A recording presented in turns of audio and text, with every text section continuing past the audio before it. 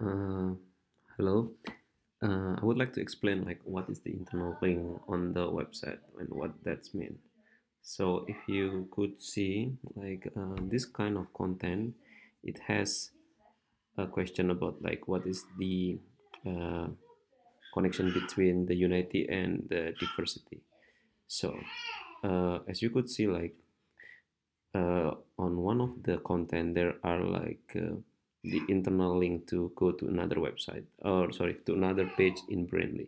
So as you can see like some suggestion where you want to go and if you click here for example it will go and direct to the other link on Brainly for example this. Now as you could see here there is no internal link so this is this content doesn't have the internal link and if we come back to the first question before, it has three internal link, one, two, and three. So if you see the internal link, you can mark it as the internal link here. For example, here as 0.5. But if there is no internal link, you make it zero. Okay, hope it's useful.